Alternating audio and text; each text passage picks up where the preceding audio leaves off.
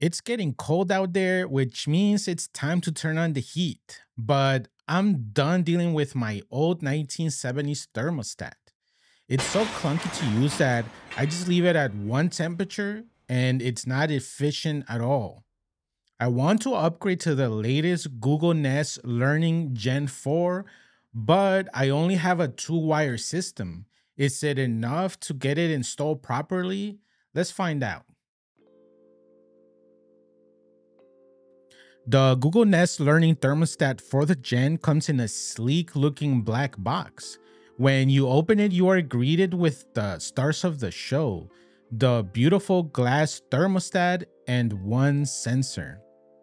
You also get a wiring base, a wall plate cover, a metal bracket which is optional to install if it's by an electrical panel, and screws to mount on the wall.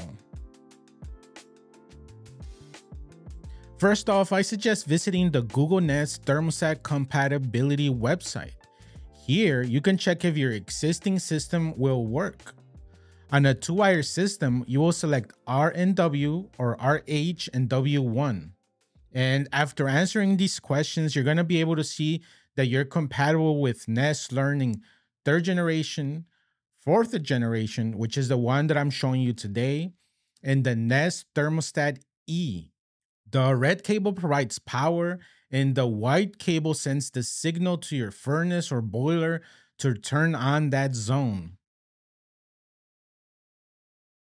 Start by taking a picture of your existing setup in case you need to revert back. I checked with a multimeter how much juice the red cable was pumping, and it was giving me a steady 27 volts which is in range of the 20 to 30 volts that the Nest requires. Also, take a picture of the QR code on the back of the unit, which you're to need later on to add it to your Google Home. I proceeded to my basement to shut off the power to my oil boiler. I checked again for electricity and confirmed there was no more power. You don't need to install the metal bracket, but I like it since you can mount the housing to the bracket.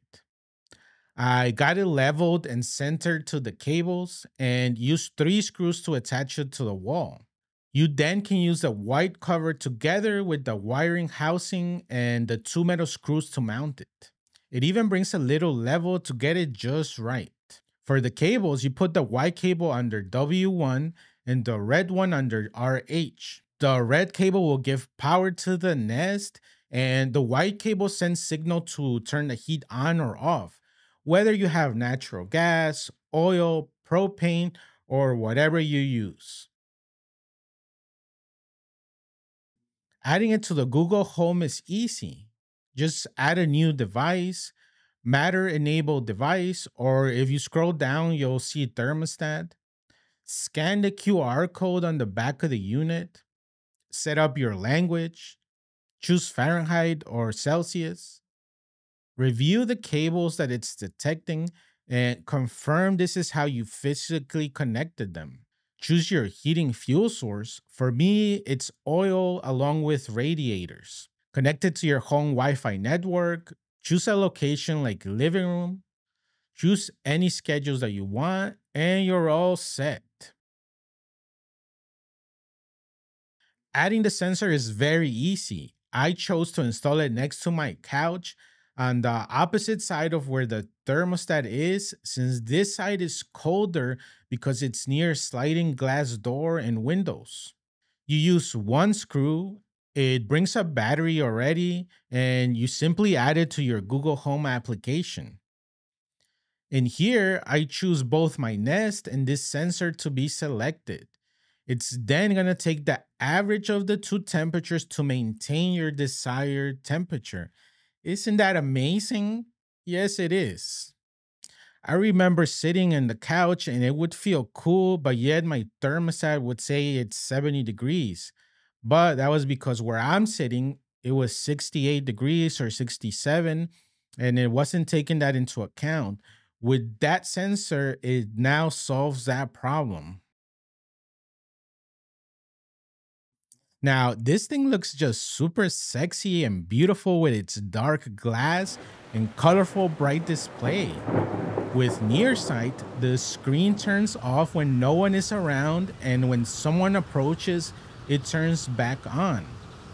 You can also adjust what's displayed with Farsight. There's temperature, weather, a digital clock, and as of November 1st, 2025, Google just added new faces which include Nest Classic, Temperature Control, Minimal, and the best one, Seasonal. The seasonal one shows a beautiful, colorful display that changes by a month.